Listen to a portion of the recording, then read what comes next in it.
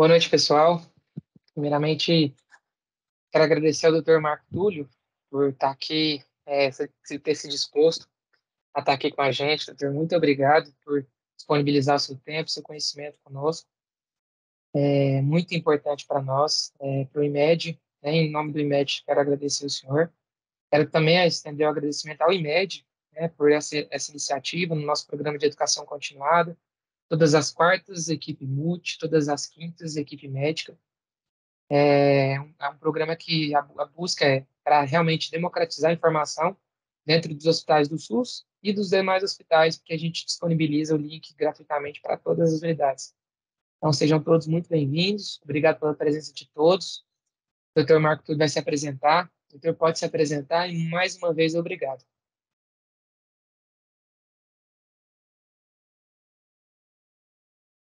Uma honra, né, poder, poder participar aí com vocês e, principalmente, a gente poder falar de um assunto aí que é, é a área que eu mais gosto mesmo de, de trabalhar, que é trabalhar com, com atendimento do AVC na fase aguda, né? É, vocês estão conseguindo já visualizar minha tela aí? Só... Sim. Sim, doutor. Vou deixar aqui.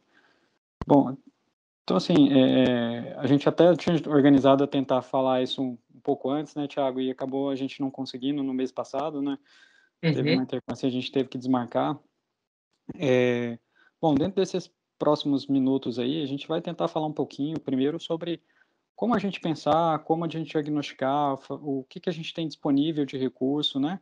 E como a gente tratar da melhor forma possível esse paciente com AVC isquêmico, né? Principalmente, que você vai centrar aí, porque é o, o grande, né? A maioria dos casos de acidente vascular cerebral é o AVC isquêmico ainda. Perfeito. Bom, então, Segundo dados da Organização Mundial de Saúde, o AVC é hoje realmente a segunda principal causa de morte no mundo.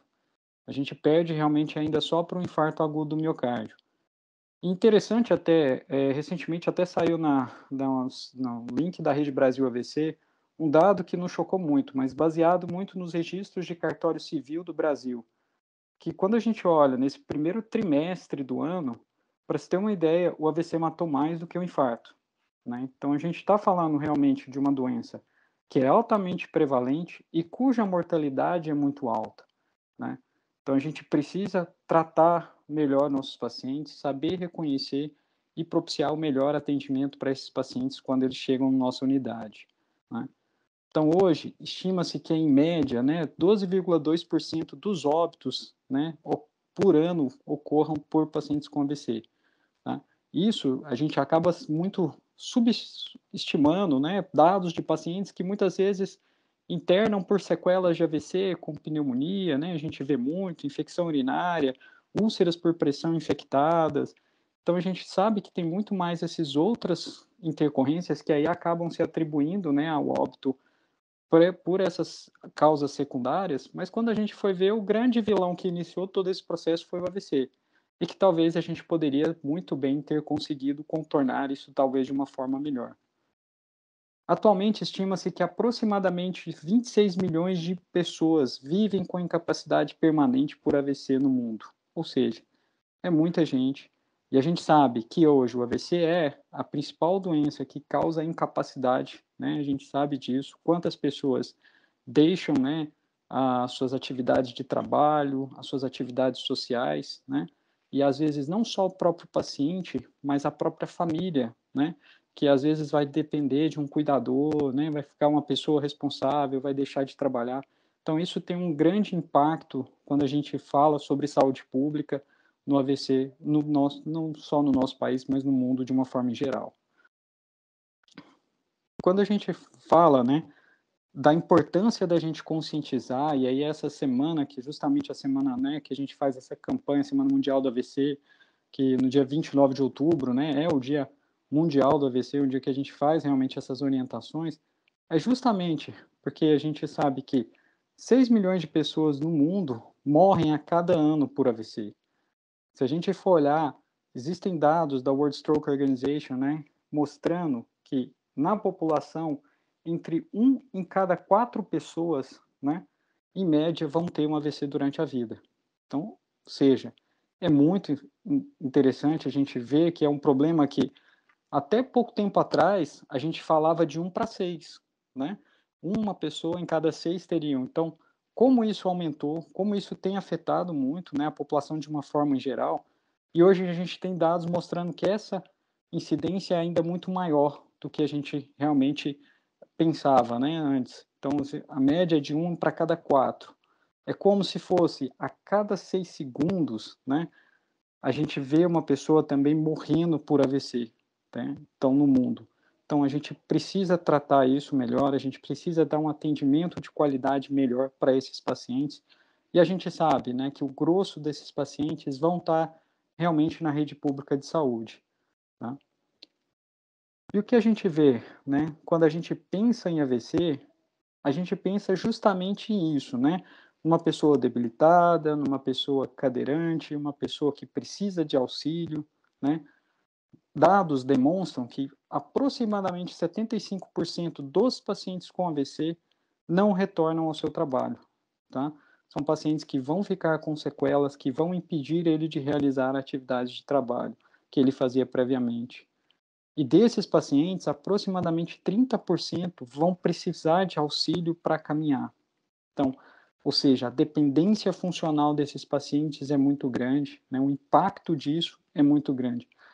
Um estudo até recente, foi publicado agora em abril de 2022 no Stroke, é um estudo que acompanhou a população de 2008 a 2017, e aí a gente está falando em países mais desenvolvidos que o nosso, que era na Austrália e na Nova Zelândia, onde observou-se que apenas 36% dos pacientes com AVC sobreviviam por mais de 10 anos. Então, ou seja, a mortalidade é muito alta. O índice de recorrência né, de um AVC, nesses, de um novo AVC nesses 10 anos, desses pacientes, girava em torno de 26%.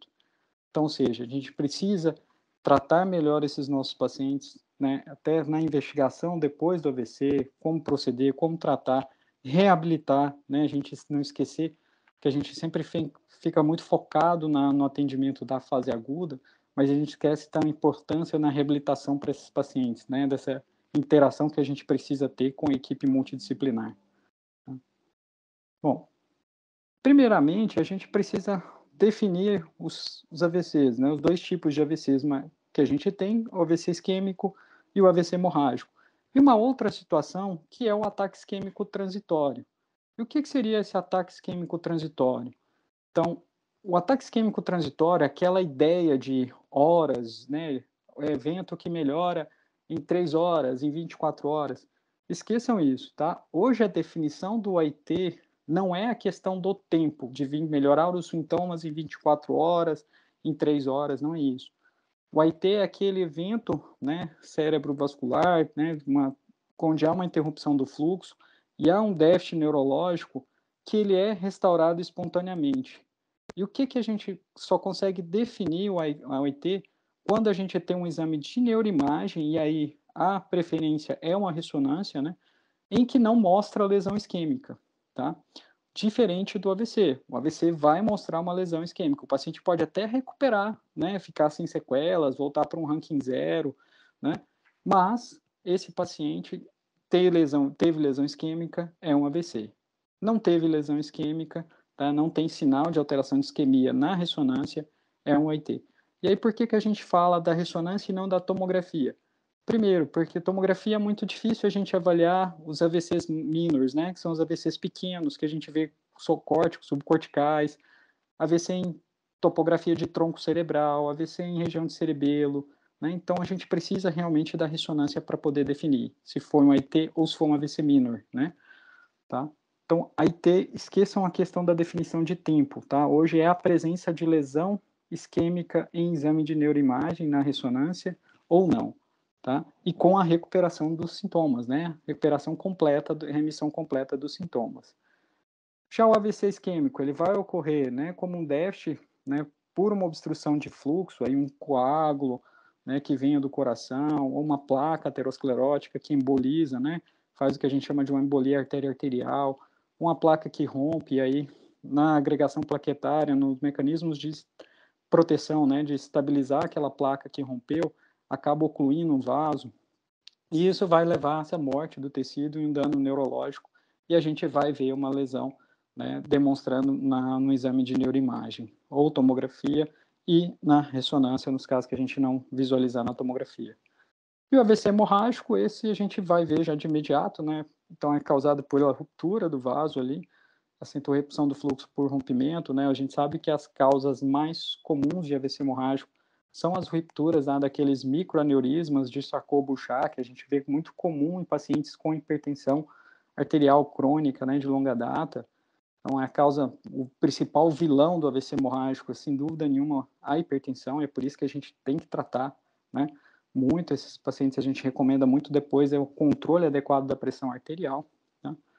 E também pode ocorrer por ruptura de aneurisma, má formação arteriovenosas, né? Em pacientes idosos, angiopatia amiloide, que é a segunda causa mais comum de AVC hemorrágico, né? traumas, uso de anticoagulantes, né, principalmente varfarina. A gente sabe que os DOACs eles têm uma proteção maior, né, com relação à questão do sangramento intracraniano quando comparado com a varfarina. E quando a gente fala dos AVCs, o mais comum, realmente, vocês vão ver muito na literatura, variando entre 80 e 85% dos casos de AVCs mais comuns são os AVCs isquêmicos e 15% os AVCs hemorrágicos.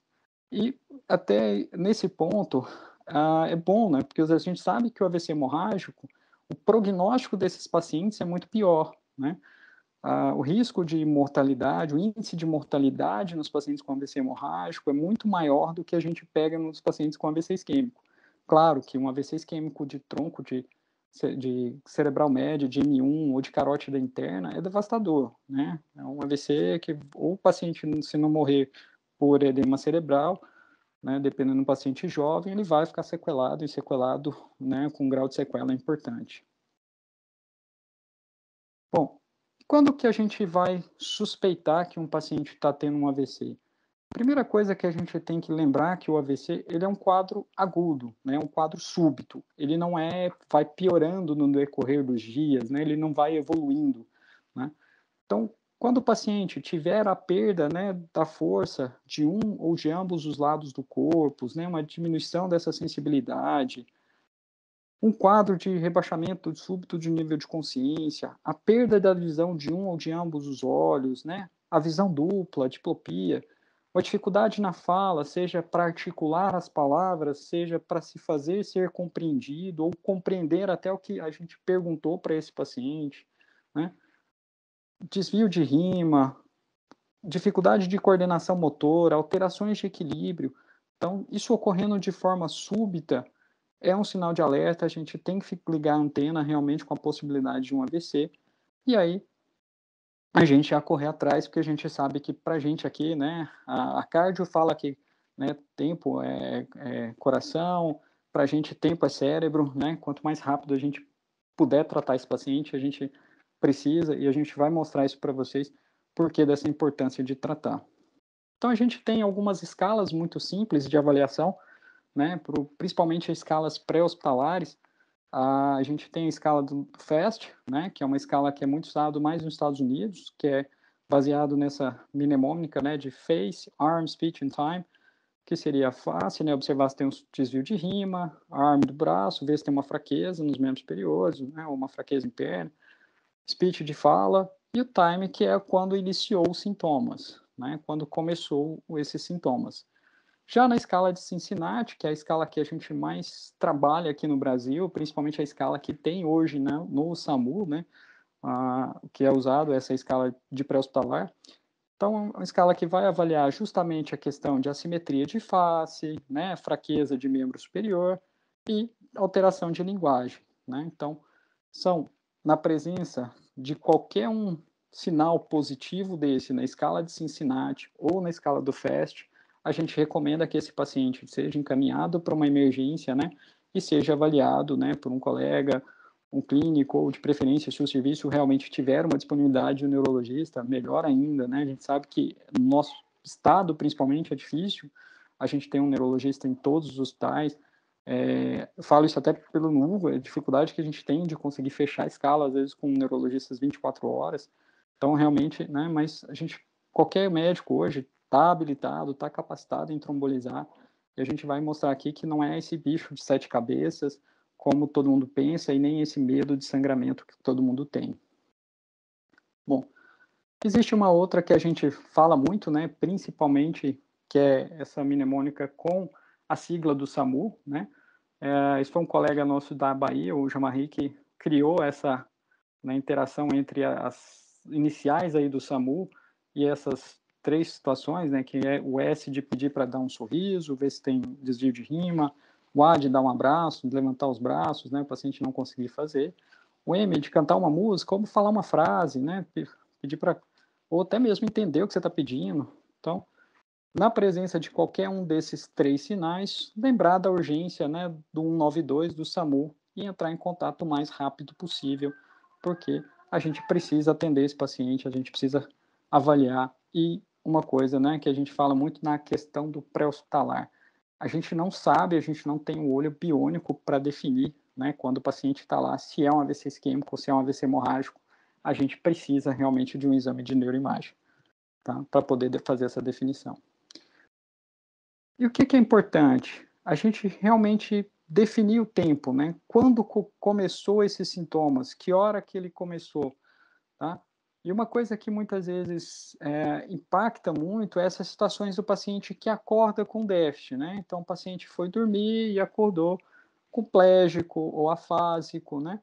Então, a hora que a gente considera, né, como sendo a hora de início, então é a última hora em que esse paciente foi visto bem, sem sintoma. Então, ah, ele foi deitar às 10 horas da noite, acordou às 6 da manhã, é, hemiplégico e afásico, hemiplegia direita e afasia. Opa, então o tempo eu vou contar a partir das 10 horas da manhã, tá? Agora, ele acordou, acordou às 6 da manhã, foi, escovou os dentes, conversou, de repente ele puf, teve uma perda de força do lado direito e uma alteração de fala. Opa, aí é diferente. Ele acordou bem e aí teve o déficit. Aí a gente vai considerar realmente a partir daquele momento o tempo quando ele teve o AVC, tá? Bom, e por que dessa importância, né, que a gente fala que tempo é cérebro? Porque a cada minuto, né, de um paciente com AVC, esse paciente perde 1,9, né, ou quase 2 milhões de neurônios por minuto. Então, quanto mais tempo esse paciente está perdendo, mais ele está perdendo neurônio. É como se a cada minuto esse paciente estivesse envelhecendo em média 36 anos, que é a média de perda de neurônios que a gente teria em condições normais né, da nossa vida. Então, quando a gente fala por AVC, há cerca de 1,2 bilhões de neurônios que são perdidos.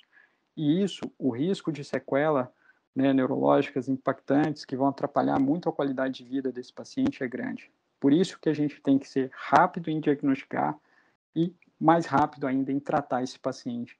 Até mesmo quando ele chega dentro do seu hospital, a gente tem que procurar ser o mais rápido possível nessa avaliação e nessa definição de conduta para esse paciente. Tá? E por que também disso? Porque a gente sabe que até 4 horas e meia né, a gente tem um tratamento disponível, né, uma, uma medicação que é disponível hoje no SUS, o, o RTPA Alteplase, ele é pago pelo SUS, né, existe código do SUS para pagar o RTPA? Então, a gente consegue trombolizar esse paciente desde que o início dos sintomas seja até 4 horas e meia. No caso da trombectomia, a gente tem hoje disponível no nosso estado realmente só na, no GOL, né, a trombectomia, e esse intervalo de tempo já aumenta um pouquinho para 6 horas, tá? Ah, existem alguns estudos mais recentes, né, mostrando a possibilidade da trombólise por uma janela mais estendida, com 9 horas, que foi o estudo Extend, né, que foi um estudo avaliando tomografia de perfusão cerebral, avaliando se tem área viável depois dessas quatro horas e meia, em que a gente pudesse trombolizar né, e ter uma chance de salvar o cérebro desse paciente ainda que estaria sofrendo. E existem estudos, né, estudos mais impactantes com a trombectomia para até 24 horas, também usando né, ressonâncias ou tomografias de perfusão, avaliando se tem tecido viável. Tá? Então, o estudo Down, né, que foi o estudo que demonstrou essa extensão da janela da trombectomia para 24 horas. Tá? Bom, e o que, que a gente vai fazer como avaliação inicial desse nosso paciente com AVC? Então, o paciente com AVC é um paciente de prioridade zero, um paciente que tem que tá lá na frente, né? Tem que ser atendido igual politrauma, tem que ser rápido, tá? Então esse paciente vai precisar avaliar a pressão arterial, né? Então a gente tentar não preocupar em querer baixar demais a pressão, tá? Nesses pacientes com AVC isquêmico na fase aguda, tá? A gente sabe que a pressão de perfusão cerebral ela é, uma, ela é decorrente, né? da pressão arterial média menos a pressão intracraniana. Então, se a gente abaixa demais a pressão arterial média, é pior, porque a pressão intracraniana nesses pacientes estão aumentados. Então, o fluxo de sangue, né, a perfusão cerebral dele vai ser ruim. Esse paciente tem um risco, né, de piorar. Então, a gente acaba sendo um pouco mais maleável com essa questão da pressão, até mesmo nos pacientes com AVC hemorrágico. Naqueles pacientes que são trombolizados, a gente já reduz um pouquinho mais, porque a gente sabe que a hipertensão aumenta o risco de transformação hemorrágica, né, nos pacientes que fizeram trombólise. A gente preocupa com a glicemia, nem é muito alta, também nem baixo demais. Tanto a hiperglicemia, que aumenta o risco de sangramento, quanto a hipoglicemia, que é pior, né, para esses pacientes, porque aumenta dano neurológico. A gente sabe que as células do sistema nervoso central, o neurônio, ele é muito ávido, né, por açúcar, então ele precisa muito de energia. Tá? E a temperatura? Então, tentar manter a temperatura dele ali entre 37 e 36,5 de temperatura, tá? E se a pressão, a temperatura subir demais, a gente tratar, porque a gente sabe que a hipertermia também é deletério para esses pacientes do ponto de vista neuronal. Bom, e o que, que a gente precisa oferecer numa sala de emergência para os nossos pacientes? Então, depois dessa avaliação de pressão, né, glicemia, oferecer um oxigênio, se o paciente estiver mantendo uma saturação abaixo de 95, pegar um acesso venoso calibroso, né? E se for fazer uma trombólise, se o paciente for para trombólise, a gente até recomenda pegar dois acessos venosos, né? Um para manter o acesso para hidratação, para correr drogas, né? Vasoativas se for preciso, e um para fazer o trombolítico a gente tem uma anamnese mais dirigida, mais focada, né? Então a gente não vai fazer aquela história toda completa que a gente aprende, né? Desde o nosso terceiro ano ali de medicina, muitas vezes já começando já no primeiro ano, definir esse tempo de início, né? E selecionar qual imagem que a gente vai encaminhar esse paciente. E aí, durante a nossa avaliação, durante o nosso exame físico, a gente tem como avaliar, através de uma escala específica, a gravidade do AVC. A escala que a gente usa muito para avaliação de gravidade do AVC é a escala do NIH, né? que é uma escala onde a gente vai fazer basicamente 10 avaliações, né? Entre nível de consciência, movimentação ocular, campo visual, déficit facial, perda de força de membro superior, membro inferior, ataxia de membro, sensibilidade, linguagem, disartria. E essa escala ela vai variar de 0 a 42 pontos, né? Quanto maior a pontuação desse paciente, pior, é, mais grave é esse paciente. Ah, e a escala do NAE de hoje me contraindica trombolizar? Vocês vão ver que não, hoje mudou. Hoje não é bem assim, tá? Então, ela é uma escala de gravidade, mas onde a gente vai avaliar muito essa questão da extensão e o prognóstico, né? Então, pacientes com NAID baixo, né, menor que 4 ou maior que 22, a gente vai avaliar muito. O paciente pode ter um NAID de 4, mas ele está fásico. Poxa, né? Perdeu a fala. Isso, dependendo da profissão dele, vai impactar muito né, a qualidade de vida desse paciente. Uh, eu falo assim, toda vez que eu falo por uma aula, isso foi um caso que aconteceu comigo no hospital privado. Uh, chegou um colega que era odontólogo, ele tinha um NAED de 3, mas ele tinha um déficit motor na membro superior que ele trabalhava, né? Trombolizamos, o paciente ficou sem sequela, e hoje trabalha normalmente, tem a vida né, normal. Imagina, se ele vai, ele fica com a sequela e nunca mais conseguiria, provavelmente, voltar a trabalhar como na profissão. Então a gente pesar muito essa questão do NIH, né? E NIHs muito altos só querem dizer para a gente assim, oh, cuidado, avalie muito bem, né? Principalmente com aspectos na tomografia, a gente vai falar um pouquinho sobre isso, para que esse paciente tenha um risco maior de ter transformação hemorrágica, né? Ou um paciente que provavelmente é uma oclusão proximal e que talvez, melhor ainda do que a trombólise, uma trombectomia para esse paciente seja mais indicado, tá? Ah, uma outra pontuação da negligência, né? Então, esqueci de comentar, então vai de 1 a 11, né? É uma questão de esquecer um lado do corpo ou não, então a gente pontua também. Bom, e com relação a exame de imagem, né? Que exame de imagem que eu vou escolher para o meu paciente com AVC, né? Como eu comentei lá no início com vocês, não tem como eu definir, né, na hora que eu pego um paciente clinicamente, se é um AVC isquêmico ou se é um AVC hemorrágico sem tomografia. Por isso que a gente até fala muitas vezes quando a gente vai fazer aula com o pessoal do SAMU, que pelo amor de Deus, chegou um paciente com AVC, não dá aspirina. Não é porque a aspirina vai contraindicar, até porque não contraindica a gente trombolizar, se for o caso. É porque você não sabe o que, que é. A gente não sabe o que, que é. Tá? Infelizmente, Pode ser um AVC hemorrágico? Pode ser. Pode ser um isquêmico? Pode ser. Pode ser outra coisa? Pode ser também. Né? Então, a gente precisa de um exame de, de imagem para a gente visualizar. Tá?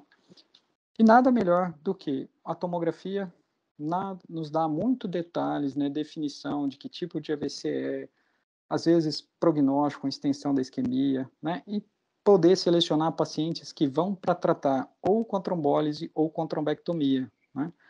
Então, quando a gente fala, né, a gente consegue muito bem avaliar pela tomografia, né?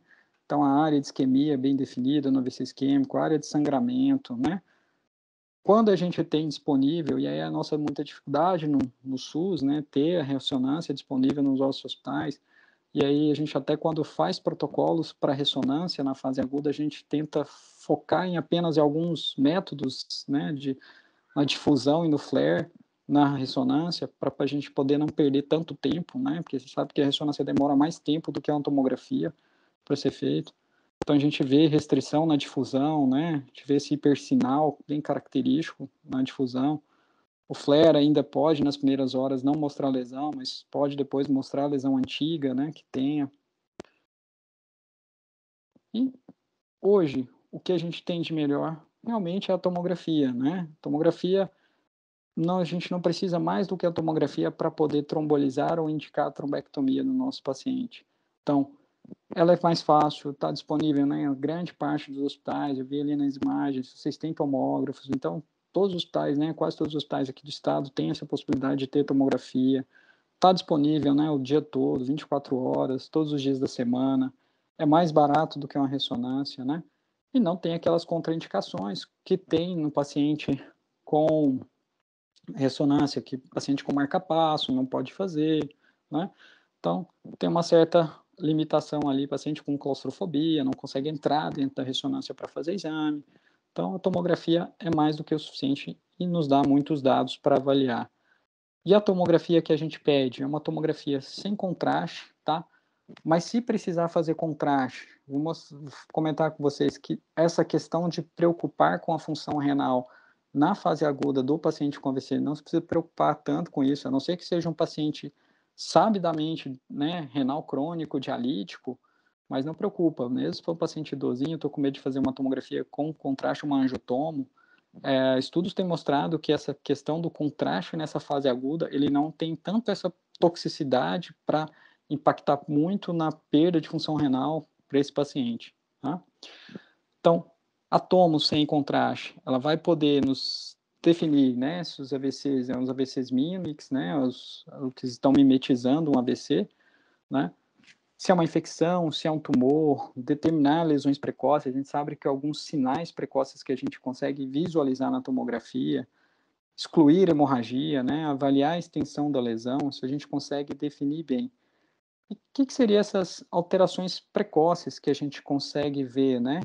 Então, a hipodensidade já do tecido cerebral, a gente vai conseguir observar, então, essa perda da diferenciação entre substância branca e substância cinzenta, né? Esse sinal que a gente chama o sinal da fita insular, né? Já mostrando bem ali aonde a área está começando a infartar ali, é, e que se a gente não atuar da melhor forma ali, trombolizar ou trombectomia, esse paciente vai ficar com uma sequela grande, né?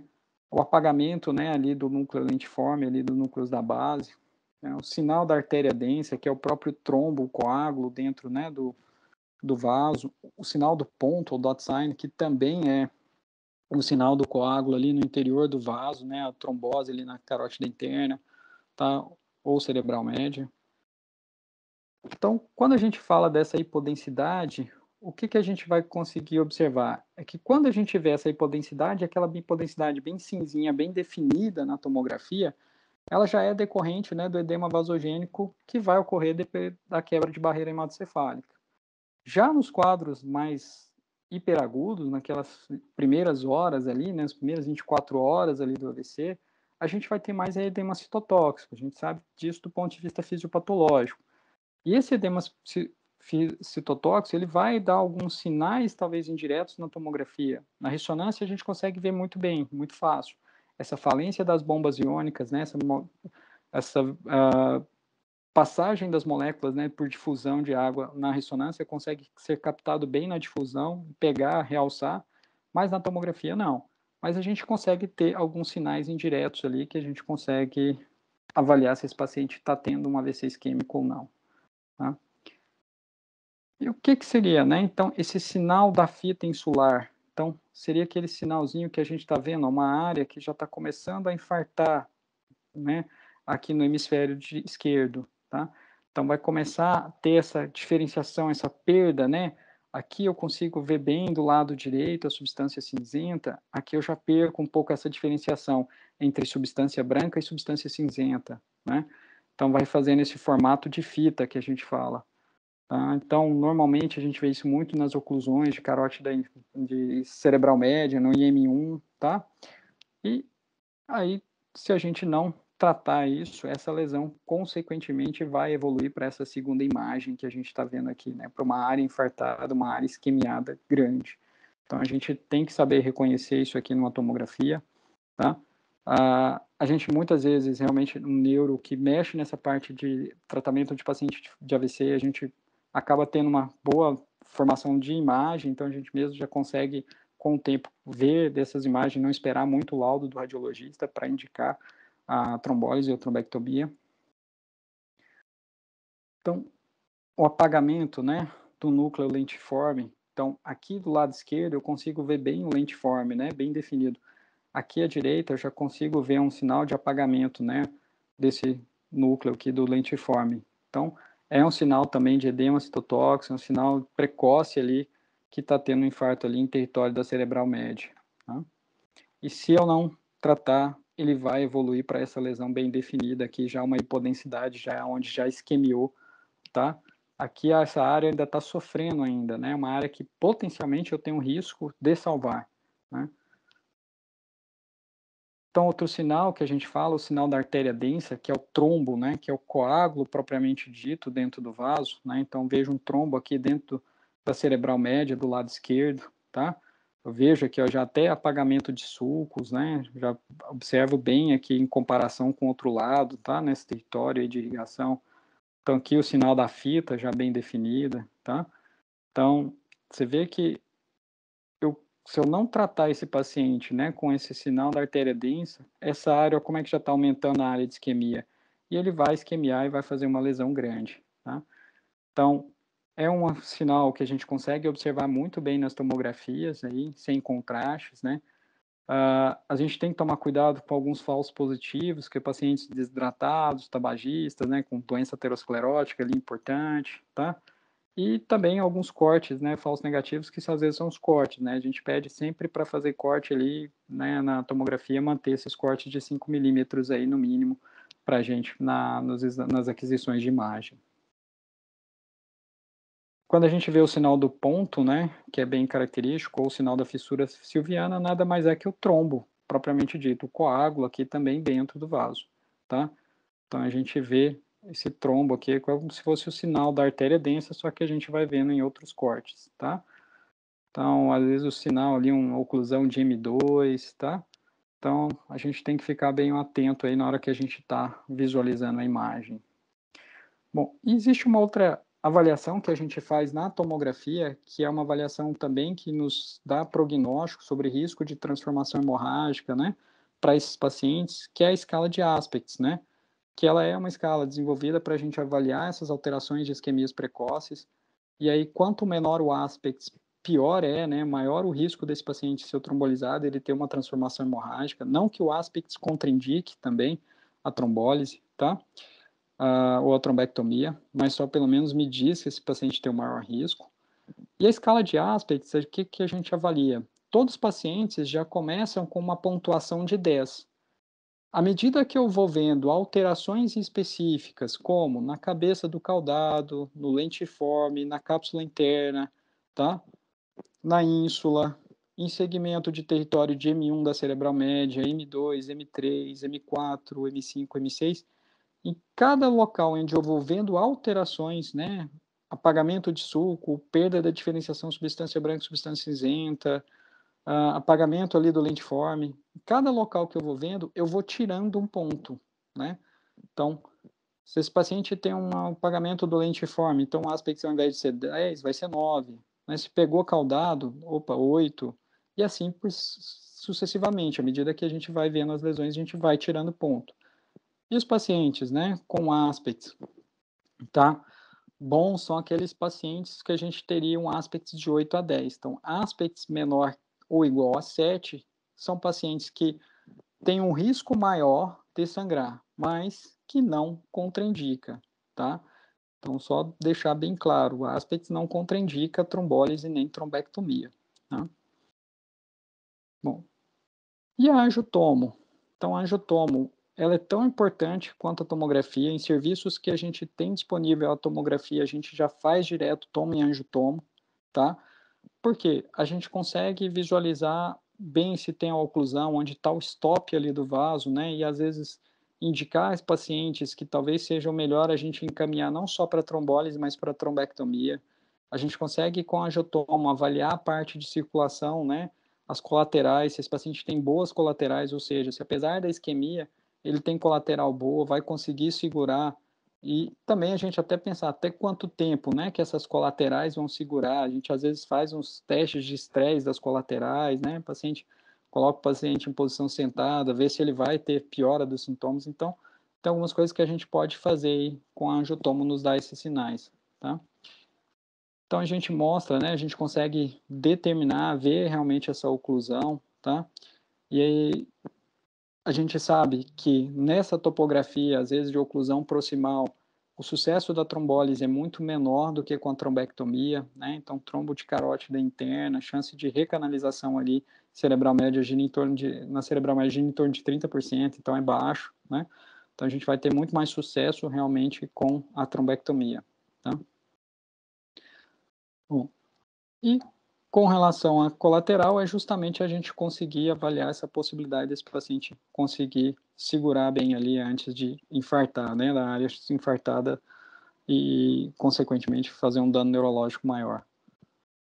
Como diagnósticos diferenciais, então a gente tem várias causas, né, desde sintomas de hipo, hiperglicemia, né, hipoglicemia uh, simula muito, por isso que a gente fala sempre, né, na fase aguda, dosar o HGT, porque é HGT baixo, você faz glicose, paciente melhora déficit, melhora o quadro de alteração de fala, né?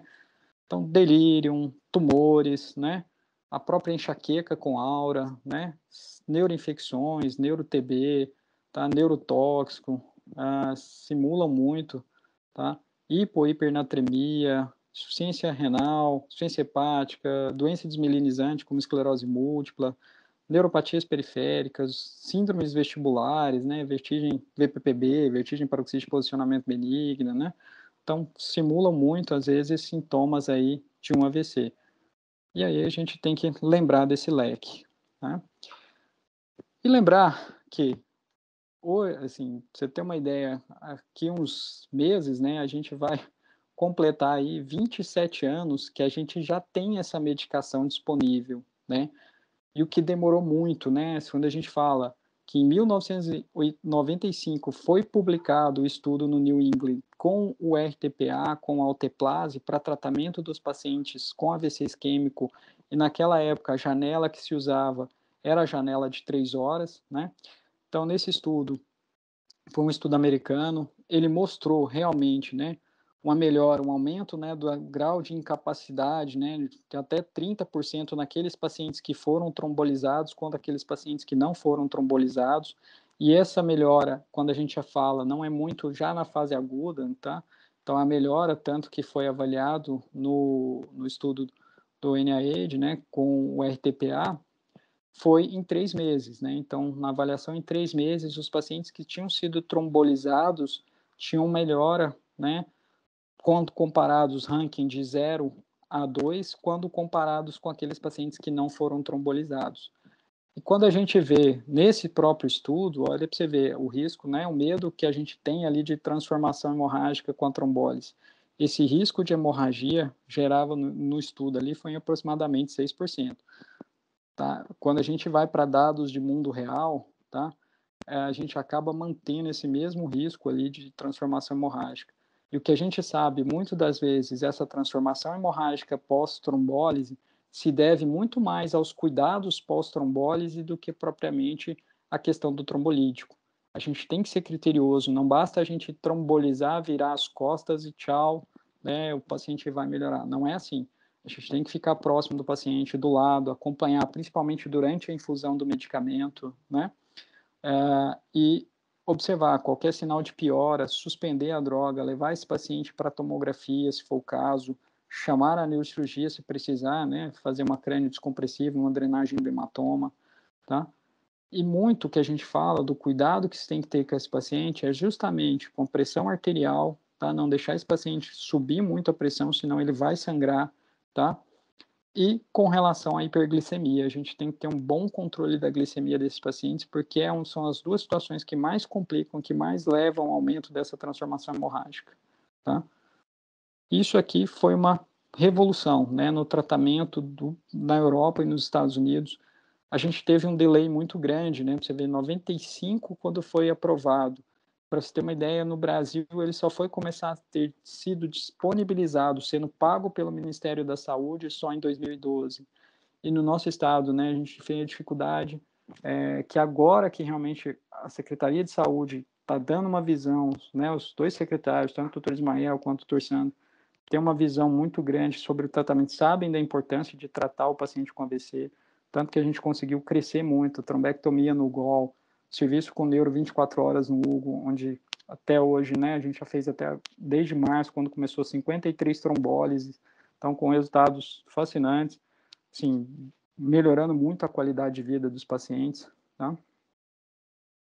E aí, poucos anos depois, em 2008, né, saiu uma outra publicação, né, que foi o estudo ECAS 3, que foi um estudo em que houve esse aumento da janela né, de 3 horas para 4 horas e meia. Então, esses pacientes que foram trombolizados com até 4 horas e meia do início dos sintomas, esses pacientes também tinham benefício, tinham um melhor desfecho, né? Quando comparado até mesmo com os pacientes de 3 horas, eles tinham os desfechos semelhantes, né? E principalmente quando comparado com placebo, tá? E o que se avaliou realmente foi através da escala de ranking, que era uma escala de incapacidade, né, que a gente avalia, e esses pacientes né, também teriam benefício se a gente estendesse essa janela. Então, por isso que hoje, sem precisar dessas tomografias de perfusão, ressonância de perfusão, a gente pode trombolizar muito bem o paciente aí com até quatro horas e meia do início dos sintomas. E hoje, né, até foi até bom ter acontecido, né, a aula hoje. Pra você ter uma ideia, hoje no congresso está tendo o Congresso Mundial de AVC em Singapura, e hoje saiu um estudo, né, demonstrando uma outra droga, que é o tecniteplase, que é o metalise, que é uma droga que é usada muito para o infarto, e esse estudo mostrou benefício também semelhante ao ateplase para tratamento dos pacientes na fase aguda, tá? A dose é de 0,25 miligramas por quilo. A vantagem muito da, do metalise, né, do tecniteplase, quando comparado com a alteplase, é que o tecniteplase ele é feito em bolos, e você não precisa ficar lá igual alteplase que a gente vai comentar, que a gente faz 10% da dose em bolos e o restante põe para correr em uma hora, tá? Então, só de curiosidade para vocês, não está aprovado, a gente não vai sair fazendo tecniteplase ainda nos nossos pacientes com AVC, claro que a gente precisa ainda, né, de ter diretrizes bem estabelecidas, mas só para vocês saberem que é uma nova droga, uma nova possibilidade que a gente vai ter aí nos próximos anos falando sobre o tratamento dos pacientes com AVC. Tá? Bom, e aí essa chance, né, da gente recanalizar os nossos pacientes, a gente sabe trombos distais, né, oclusão de vasos distais, a chance de recanalizar com um trombolítico, né, é muito melhor, em torno de 60% a 70%, né, Já aí, quando a gente começa a pegar vasos mais proximais, aí, M2 de cerebral médio já diminui um pouquinho, 44%. Quando a gente pega aí M1 basilar, né, já a chance de, des, de recanalizar esse vaso gira em torno de 30%. Então, ou seja, são pacientes que nessas situações de oclusão proximal, a trombectomia realmente é melhor para esse paciente. A gente tem um sucesso maior e uma chance de reperfundir melhor esse, esse paciente. Bom, e o que, que a gente vai fazer para nosso paciente que chegou na fase aguda, a gente está em janela e vai fazer trombolizar esse paciente? Então, o que, que a gente precisa ficar de alerta em nosso checklist? Então, avaliar os sinais vitais, aquilo que a gente falou. Nesse caso, a gente tem um pouquinho mais criterioso, baixar um pouquinho mais a pressão né, desses pacientes, manter esse paciente com a saturação ali maior que 94%, avaliar né, esse paciente, né, se ele usa algum anticoagulante, qual anticoagulante, se são os anticoagulantes diretos, se é varfarina, tá? É importante a gente saber. De exames gerais, a gente tem feito hemograma, TAP, TTPA, né, pede um eletro, mulheres, a gente acaba em algumas situações pedindo beta-HCG, e muitas vezes que a gente fala, a gente não espera muito, tá, exame de laboratório para trombolizar o paciente. Se o paciente não tem nenhuma história de uso de anticoagulante, não tem nenhuma história de disfunção hepática, eu não vou ficar esperando o TAP para poder trombolizar, né? Ah, se depois chegar o TAP e alargado, opa, eu suspendo. Mas, de cara, a gente não tem feito isso, isso a nível mundial, tá? A gente não fica esperando mais exame. A gente pede os exames, pede hemograma, né? Questão das plaquetas, a gente sabe que é uma contraindicação, mas a gente não fica muito preso a isso. A não ser que o paciente tenha alguma disfunção plaquetária, já previamente que a gente sabe, aí realmente a gente vai pesar muito a mão mesmo e esperar os exames para poder indicar, tá? Pegar dois acessos venosos, fazer um NIH mais básico, bem rápido, a gente tenta fazer ali, pegar os sinais, sintomas, né, uma anamnese bem dirigida, colher os dados justamente de quando começou, que medicações que usa, né, e levar esse paciente para fazer uma tomografia e avaliar essas contraindicações, né. Quando a gente fala das, da, das contraindicações, a gente sabe que, eu brinco muito, a gente tem muito mais indicação para não fazer o trombolítico do que realmente para fazer. Né? A gente vai mostrar essa lista tão extensa de contraindicações. A dose, como eu comentei um pouquinho com vocês, a dose, essa dose pro alteplase é 0,9 miligramas por quilo de peso, tá? Sendo que a dose máxima é 90 miligramas, independente então se esse paciente pesar 120, 130 quilos, 150 quilos, 200 quilos, a dose máxima é 90 miligramas que a gente vai fazer, tá? Então a gente faz 10% da dose em bolos, tá? Ali já de cara, né? muitas vezes a gente já tem feito essa bolo já na tomografia mesmo lá no Hugo, e depois o restante a gente coloca para correr em bomba de infusão, tá? Durante uma hora. E aí, essa preocupação, né, de sangrar, né? Então a gente sabe que esses pacientes, né, com trombólise, né, esses pacientes, 94% desses pacientes não têm sangramento intracraniano, tá? Então, 6% só desses pacientes realmente têm risco de ter transformação hemorrágica, tá? Então, vale muito mais a pena, e assim, a gente sabe que tendo um bom controle, né, e a gente ficar muito atento no pós, né, trombólise, é o que vai ser mais importante para esses pacientes em termos de não ter transformação hemorrágica, tá? Então, a gente tem aqueles tipos de definição de hemorragia, né? Hemorragia tipo 2, uh, hemorragias intracranianas, a hemorragia fatal, tem né, a questão das petequias de reperfusão. Então, a gente tem algumas outras avaliações que a gente faz, tá? Mas esse risco de sangramento grave aí, de complicar esses pacientes, né, vai girar em torno de 6% só. Tá? Então, a gente não fica muito preso, né, preocupado muito com essa questão do sangramento intracraniano. E das contraindicações, então, o que, que a gente teria? Então, pacientes com AVCs leves, com sintomas não incapacitantes, tá? Então, não é uma contraindicação absoluta nessa questão do NIH, já comentei com vocês, é relativo.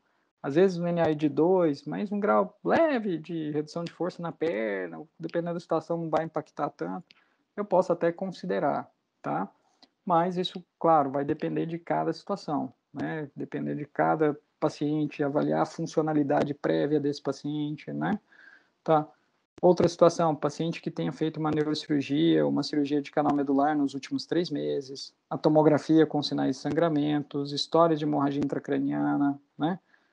Tomografia com uma grande área, né, de hipotenuação, então, às vezes é uma contraindicação também, a gente fala aqui como uma contraindicação relativa, não uma contraindicação absoluta, tá? a neoplasias né, gastrointestinal, sangramento gastrointestinal nos últimos 21 dias. Aí esse aqui sim é realmente uma contraindicação absoluta. AVC isquêmico nos últimos três meses é uma contraindicação absoluta. Então, plaquetas menor que 100 mil. Então, fiz, trombolizei, chegou lá, minha plaqueta menor que 100 mil, suspendo o trombolítico, tá? Apesar que a gente até agora nunca conseguiu, nunca chegou a pegar nenhum caso assim. E paciente com um RNI maior que 1.7 também são pacientes que a gente contraindica, paciente que fez uso de heparina, né, nas últimas 24 horas, né, em dose plena, não aquela dose de profilaxia, tá? A dose de profilaxia a gente não contraindica, mas a dose plena sim, tá? E pacientes, né, em uso de anticoagulantes diretos hoje, né, a gente sabe, com os inibidores de trombina, inibidores de fator 10A, nas últimas 48 horas, a gente contraindica, né? TCE grave nos últimos três meses, ou TCE agudo, né? E a gente fala de traumas graves, não trauma leve, às vezes a gente até considera aí trombolizar, tá? Tumores, né, intracranianos, pacientes com suspeita de hemorragia subaracnoide, dissecção de aorta, né, endocardite, a gente contraindica, né, principalmente dissecção de aorta e endocardite, principalmente endocardite, que esses pacientes com trombose endocardite sangram demais, tá? Então, risco de sangramento e hemorragia intracraniana é grande nesses pacientes. E aí, o que a gente precisa ter de cuidados, né, depois da trombólise, que é justamente, né, primeiro, a gente não vai usar nenhuma terapia antitrombótica nas primeiras 24 horas, tá? Mas lembra uma coisa, ó, dentro dos critérios de exclusão, em nenhum momento eu falei, ah, se o paciente tiver usado AS antes, tá? contraindica trombolizar. Não, você vê que não tem aspirina aqui como contraindicação. Então, se ele usou antes, chegou para mim, tá? E eu vou trombolizar, eu tenho, tá em janela, tem indicação para trombolizar, não é porque eu uso aspirina, clopidogrel, até prasugrel, ticagrelor, que eu vou contraindicar. Mas eu vou ter que ficar um pouco mais atento que o risco de sangramento tem.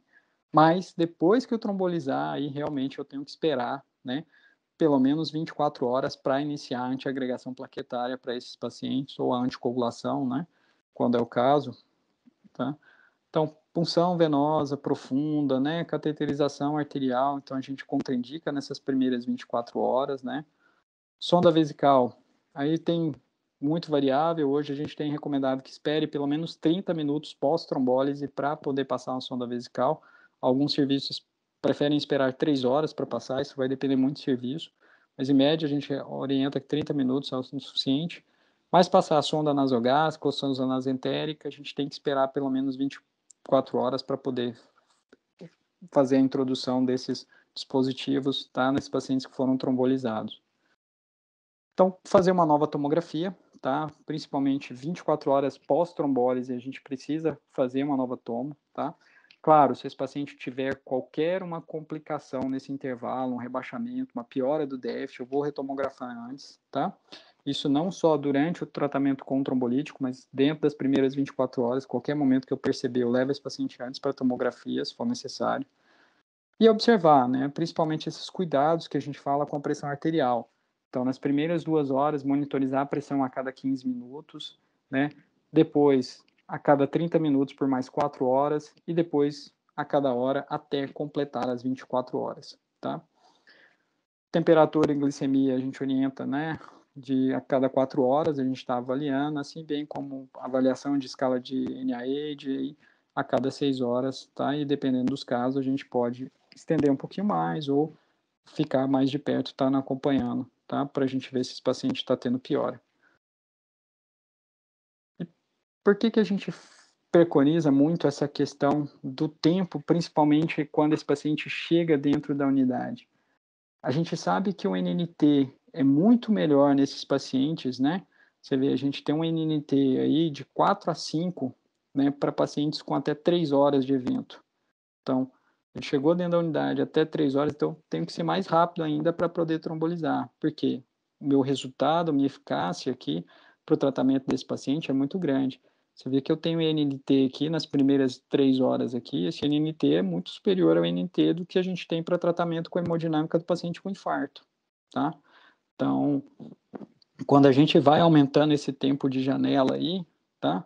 Uh, de 90 minutos, falo de 90 minutos a uma hora e meia, né? Uh, de uma, uma hora e meia a três horas já vou para nove e de três horas para quatro horas e meia eu já vou para o NNT de 14, tá? Então, ou seja, cada tempo que vai passando, eu vou realmente né, tendo que tratar mais paciente para ter um desfecho melhor.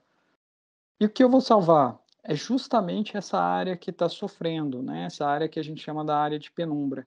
É aquela área que está ali com falência, já começando a falência de bomba, mas que ainda não isquemiou. Mas que se eu não abrir e não reperfundir aquele vaso, essa lesão, né, se eu não tratar, uma lesãozinha que poderia ficar uma lesão pequena, como a gente vê aqui, vai ficar uma lesão gigantesca, né? Então, o risco de sequela, né, de lesão neurológica vai ser muito maior e muito pior para esse paciente, tá? Bom, e o que, que a gente precisa fazer quando o nosso paciente chega, então? O que, que a gente precisa, né, preconizar ali para ter uma equipe muito rápida? A gente precisa né, ter protocolos bem definidos, fazer uma avaliação rápida, de preferência, né? A gente fala, se a gente pudesse contar muito com uma pré-notificação do SAMU, que estou ligando, estou trazendo um paciente com AVC aí, isso já ajuda muito, né? Porque a gente já fica preparado, pronto para receber esse paciente. Fazer uma avaliação inicial bem rápida, então, uma anamnese muito dirigida, muito rápida, colher um exame de sangue, levar esse paciente para o exame de imagem e fazer o trombolítico, né?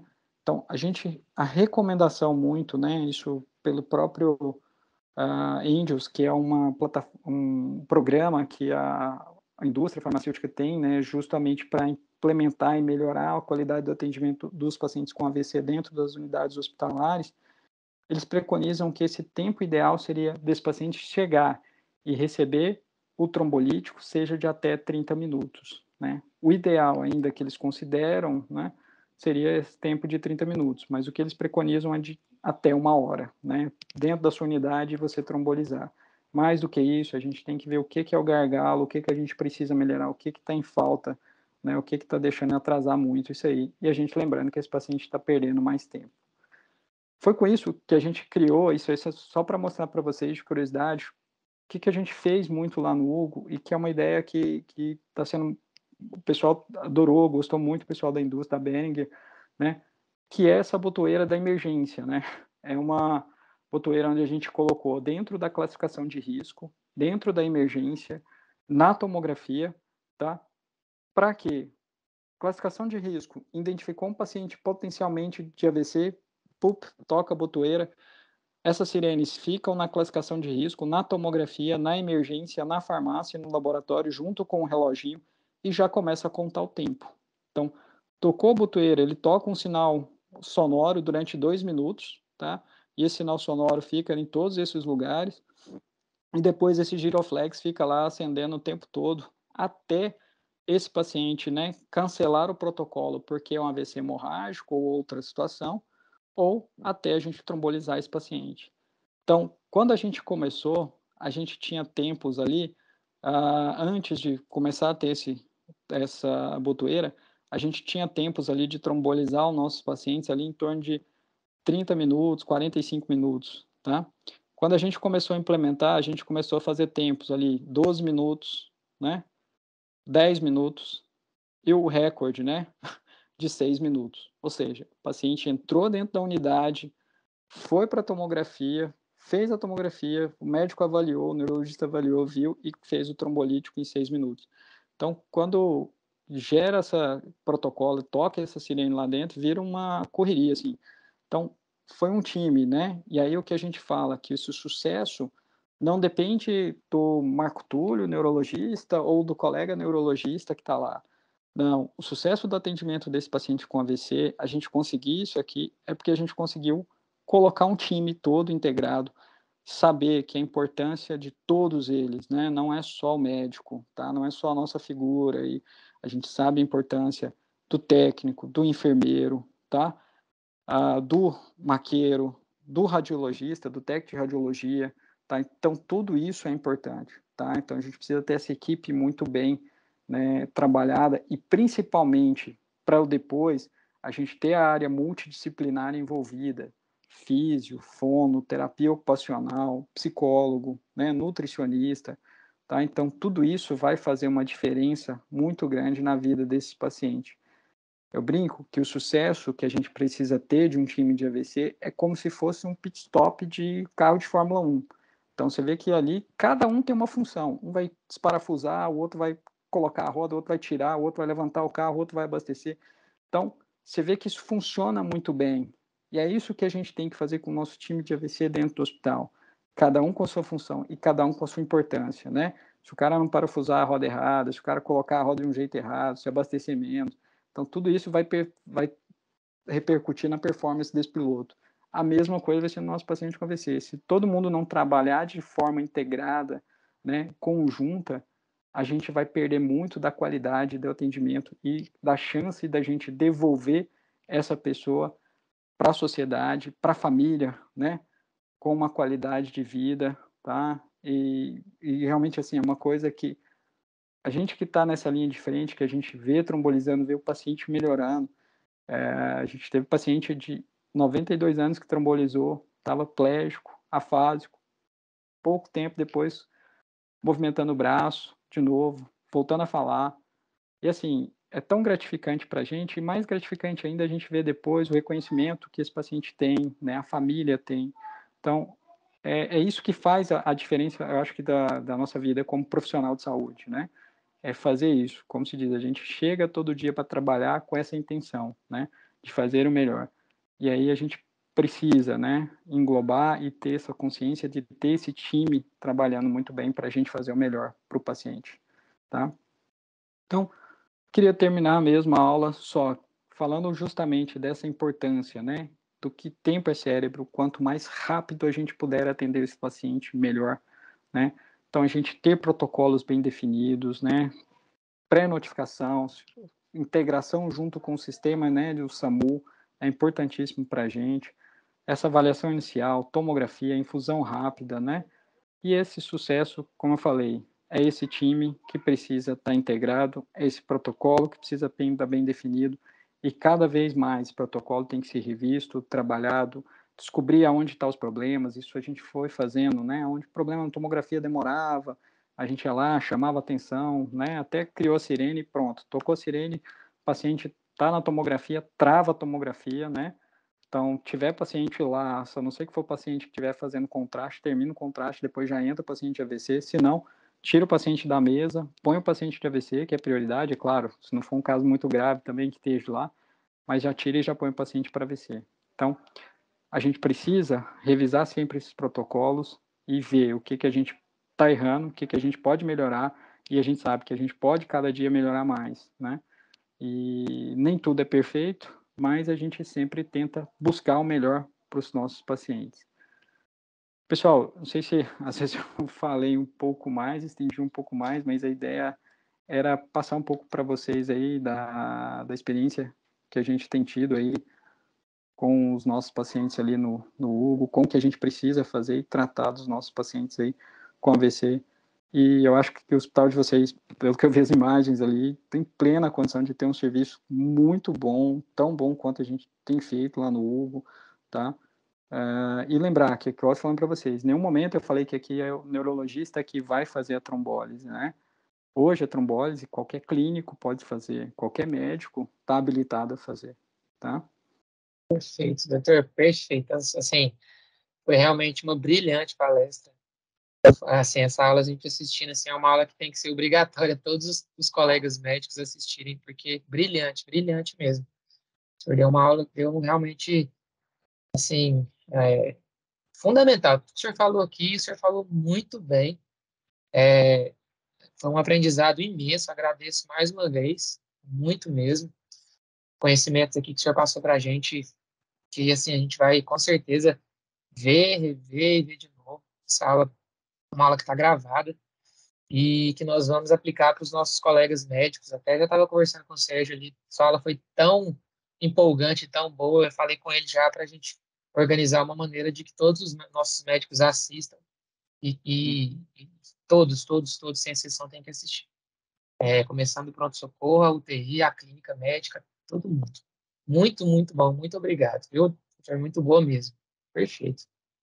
Ah, eu que agradeço, Thiago. Agradeço. Deixo à disposição a aula, quiser passar para a turma aí, tá com você, deixa, pode passar. Eu acho que conhecimento é compartilhado, cara. É, né, a gente tem que compartilhar isso para o bem de nós todos e para o bem do paciente, né? Que eu acho que é a nossa principal preocupação aí de atender os nossos pacientes. Nossa, muito bom. Doutor, ao final da aula a gente faz uma, uma roda de perguntas e uhum. a gente abre para o pessoal. Nós estamos aqui até o Weber, o Dr. Weber também, que é professor, ele levantou a mão aqui. Dr. Weber, é, pode liberar o seu microfone e, e vamos, vamos lá.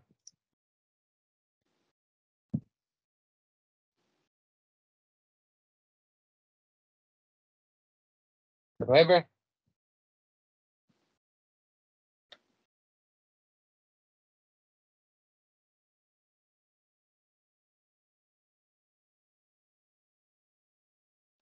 Dificuldade para liberar o microfone? Aristela?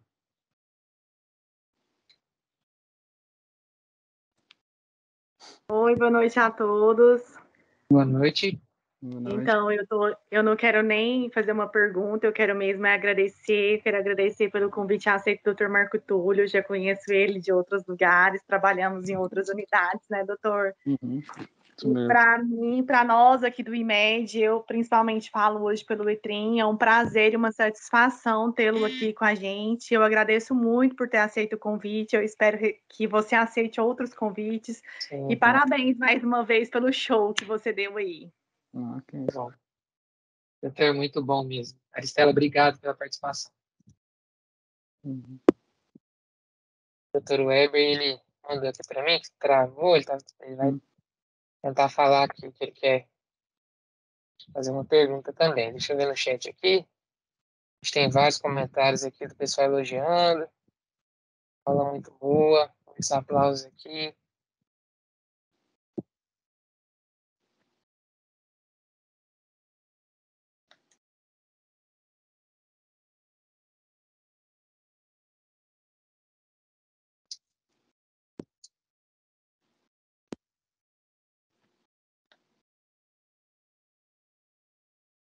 Se o Dr. Weber consegue falar aqui.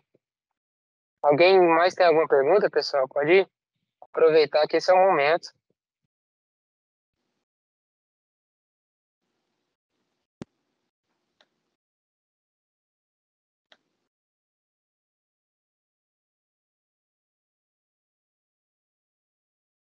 Não fique acanhado não, pessoal. Quiser perguntar aí, pode perguntar, estou à vontade, tá?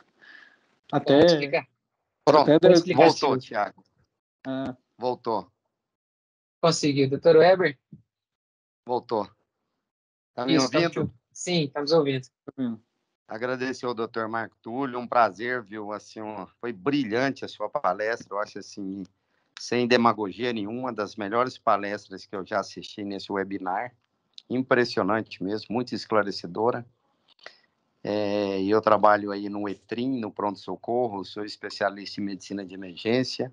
Acho que tem, acho não, tenho certeza que tem que ser uma aula obrigatória para que todos assistam essa aula, não? sem exceção. Queria te fazer duas perguntas, se me permite. Ah. É, nós vimos que o índice de conversão, transformação hemorrágica na trombólise é muito baixo, próximo de 6%. Uhum. E esses pacientes, porventura, durante a trombólise ele rebaixa ou convulsiona e eu para a trombólise, levo para a tomografia e vem um sangramento importante, tem uhum. benefício do ácido tranexâmico? Certo, Weber. O ácido tranexâmico, não, não tem benefício muito para a gente fazer. O que a gente tenta fazer muito ali é crio, né? Crio precipitado, tentar ver se consegue reverter, pá, com plasma, tentar ver se consegue melhorar e dependendo da situação, a gente acionar o pessoal da neurocirurgia, né? Que é o que a gente vai precisar.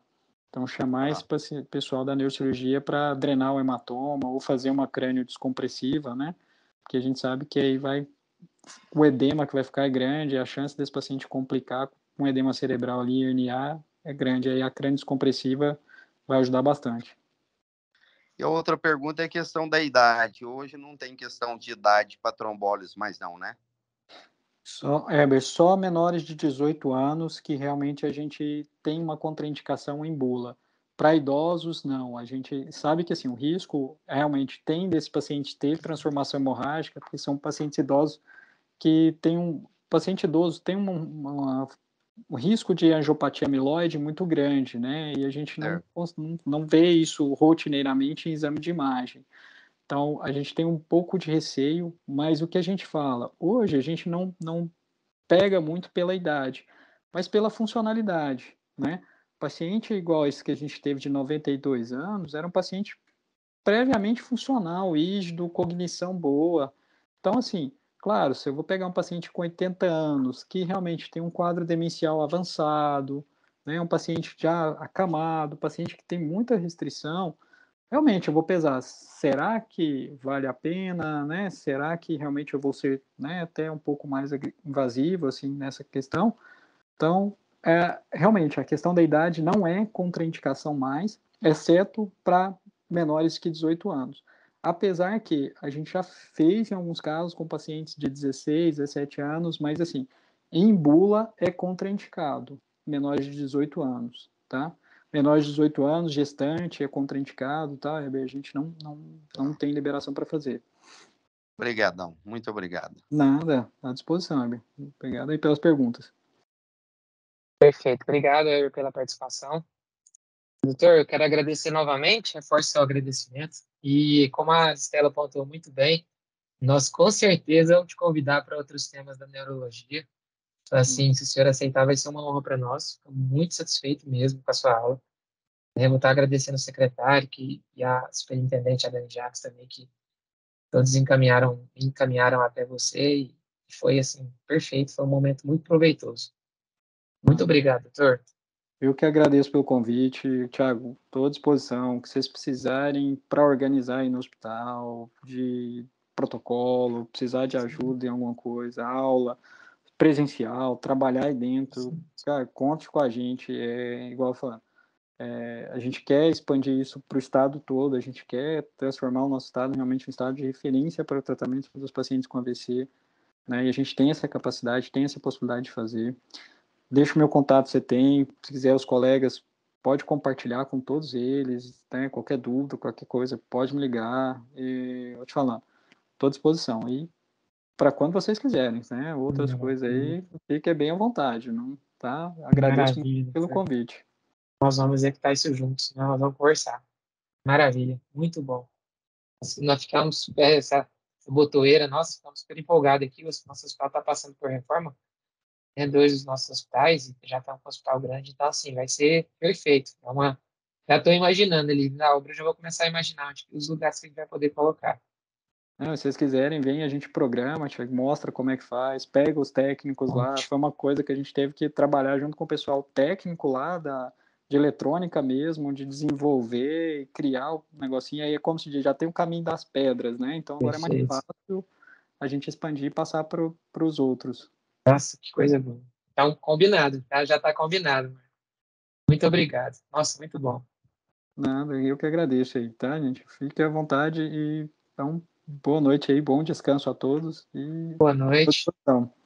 Boa noite, pessoal. Quarta-feira e quinta-feira que vem, estão todos aí convidados para os nossos webinários.